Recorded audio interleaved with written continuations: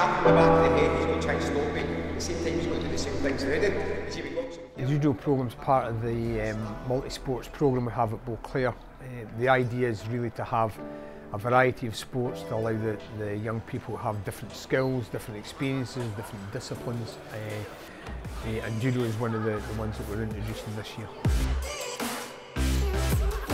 Judo does a lot. I mean, it helps your balance, coordination, strength, spatial awareness. Also, as well, you all thing when we're training together, you're training as a unit, training as a team. So it's not just about one person in the judo club, the judo class, the whole class training together and getting better. Which I think is the same ethos you would have with the, the, the football team training together.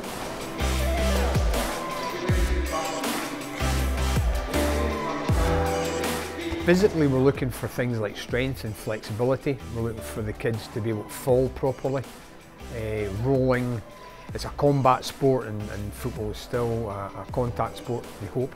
So combat and close quarters is really important to us.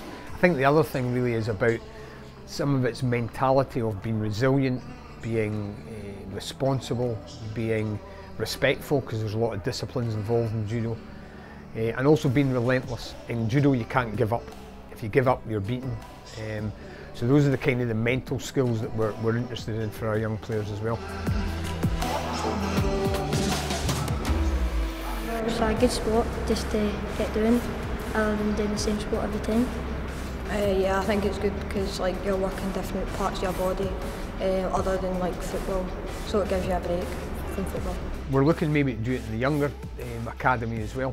Um, but I think the plan would be to go from judo to yoga, which is completely different, taking it down a notch and about the discipline of being quiet, about doing slower movements. Uh, we'll add that to the programme as well.